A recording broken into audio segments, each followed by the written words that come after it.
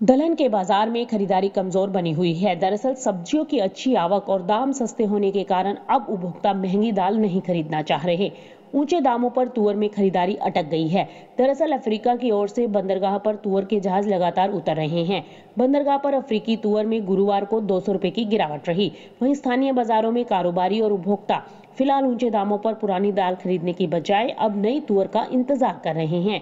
इसी बीच, इंदौर मंडी में भी तुअर के दाम में स्थिरता रही, लेकिन दाल में खरीदारी कमज़ोर पड़ने से तुअर दाल सौ रुपए टूटी और इसी बीच मूंग में भी व्यापार कमज़ोर रहा।